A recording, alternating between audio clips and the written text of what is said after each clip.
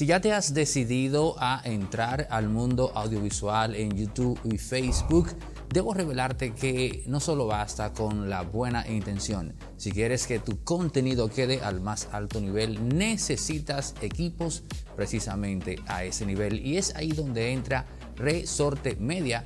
Llámanos o escríbenos al 829-741-3061. Te repito, 829-741-3061 es el teléfono de Resorte Media. Escríbenos y nos ponemos de acuerdo para hacer posible que tu sueño audiovisual quede como realidad al más alto nivel. La gente no entiende eso. No hay forma en la cual el dominicano comprenda eso y es lamentable porque fomenta el populismo que nada aporta no solo al debate político, sino también a la gobernabilidad.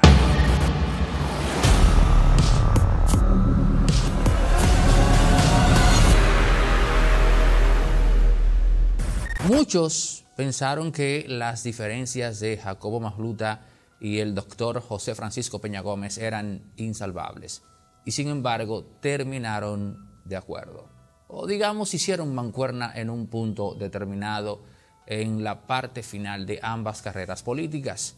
También se pensaba lo mismo durante décadas del profesor Juan Bosch y el doctor Joaquín Balaguer y ya saben ustedes lo que terminó ocurriendo.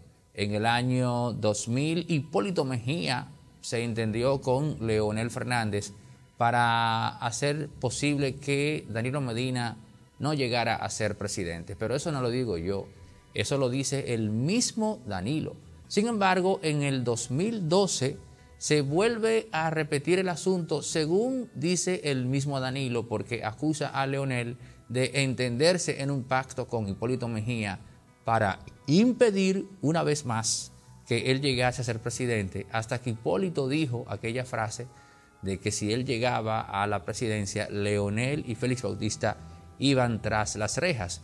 Todo eso dicho por el mismo Danilo Medina. Sin embargo, luego vimos cómo Hipólito hizo su pacto con quién? Oh, con el presidente Medina. ¿A qué viene todo esto?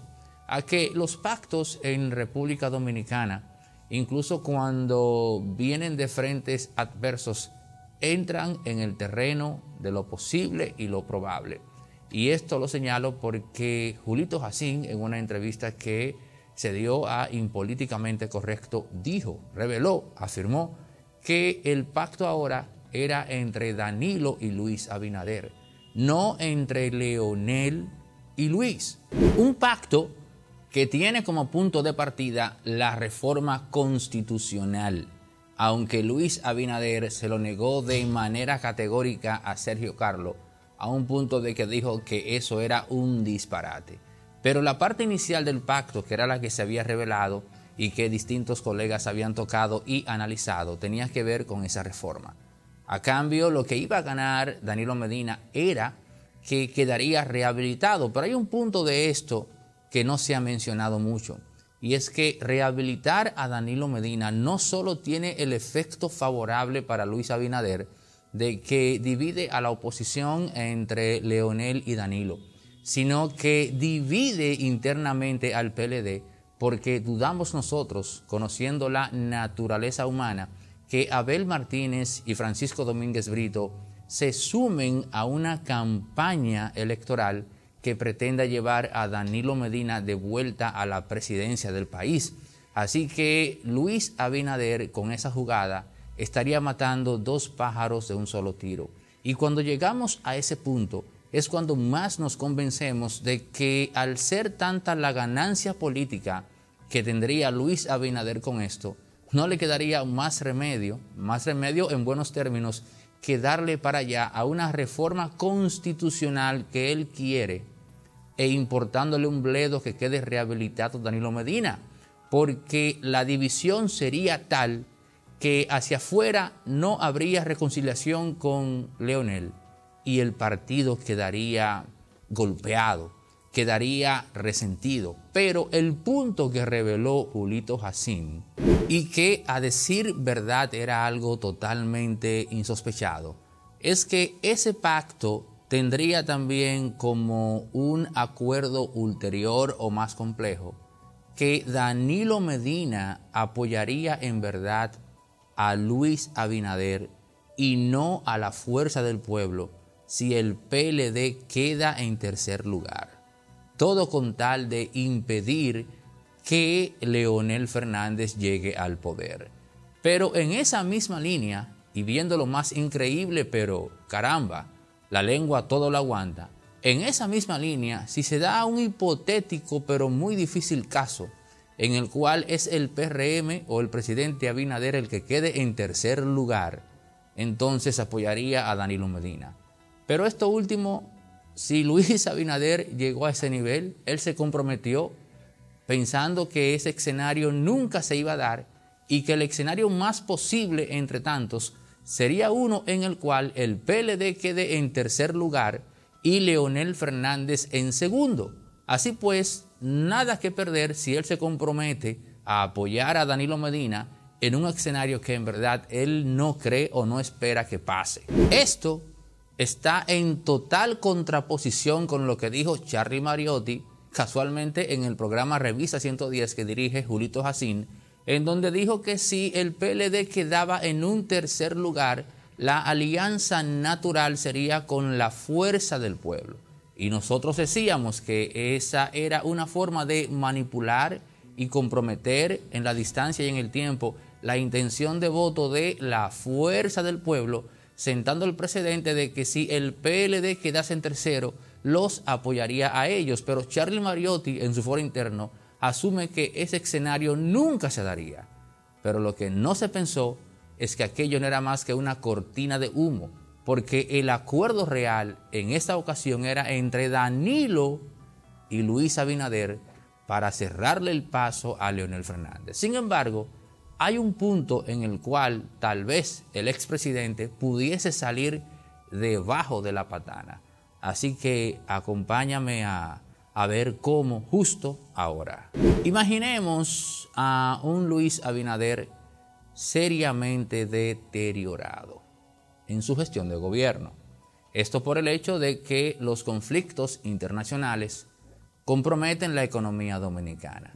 Y lamentablemente la gente no asume, la gente no, no, no comprende cómo el precio de un bien básico en nuestro país se puede ver afectado por un conflicto externo, a pesar de que en efecto nuestro país es rico en fertilidad, pero la realidad es que hay muchos insumos que se requieren para llevar un producto terminado a la mesa, que son importados, que no se producen en República Dominicana, y es esa variable la que termina afectando el costo hacia arriba de la llamada canasta básica. La gente no entiende eso, no hay forma en la cual el dominicano comprenda eso y es lamentable porque fomenta el populismo que nada aporta no solo al debate político, sino también a la gobernabilidad.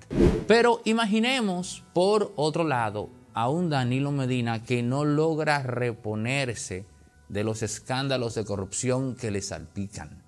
Son estas las dos figuras que se entienden de cara al 2024. ¿Es posible acaso que los malestares de imagen que pesan sobre ambos sean más poderosos que el acuerdo que ellos dos logren tener? Claro que sí, señores. Imaginemos un PRM del cual la sociedad se ha desencantado. E imaginemos a un PLD cuyo candidato es Danilo Medina. ¿Cuál es o cuál pudiera ser en ese contexto la opción de poder menos mala? El expresidente Leonel Fernández.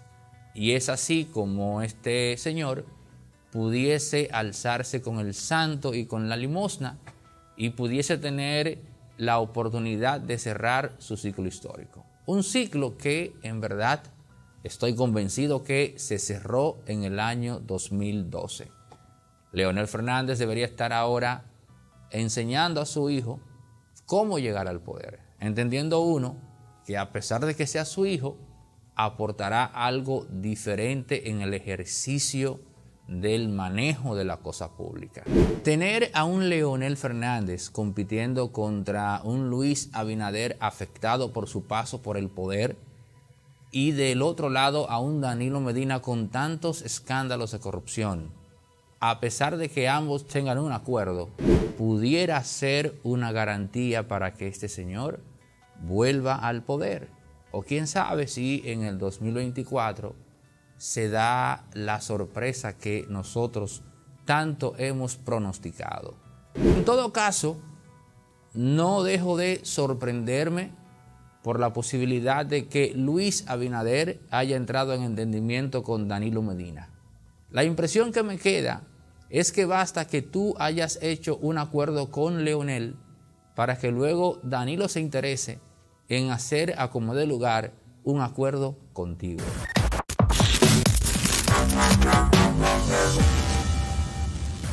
El Agarra 4 de Lotedón sigue premiando a la madre dominicana este y todos los domingos de mayo. Así que ya sabes, cuando juegues tú Agarra 4 de Lotedón, fíjate en el código que sale al final de cada boleto porque con él todos los domingos podrás estar participando Madre Dominicana para ganar un millón de pesos. Ya lo sabes, suerte con el Agarra 4 de Lotedón madre. Nos encanta lo que hacemos, más proyectos vienen en camino y si a ti te gusta la idea de que Impolíticamente Correcto y Resorte Media se expandan, hemos habilitado nuestro Patreon. Entra por aquí al link que ves en pantalla ahora mismo. Entras directo a www.patreon.com backslash impolíticamente y haz tu aporte con lo que quieras y cuando puedas. Muy pronto estaremos haciendo contenidos exclusivos para, para las personas que nos aportan en Patreon y también para las personas que adquieren las membresías del canal de YouTube. Con estos recursos nosotros podemos contratar más gente, más equipos y pues avanzar en el proceso para sacar al aire nuevos proyectos. Por eso estamos muy agradecidos con toda la gente que decida apoyarnos. Gracias de antemano. Energía eléctrica al precio más competitivo del mercado y durante toda la vida. Una sola inversión, una gran solución con Ser Solar. Llama o escribe al número que ves en pantalla ahora mismo para que contactes con los expertos en la instalación de paneles y celdas fotovoltaicas Ser Solar. Farmacia Medicar GBC es la farmacia de los dominicanos abierta de lunes a domingo con los medicamentos a un 20% de descuento y abriendo sus puertas en Puerto Plata. Por eso Farmacia Medicar GBC es la farmacia de nosotros los dominicanos.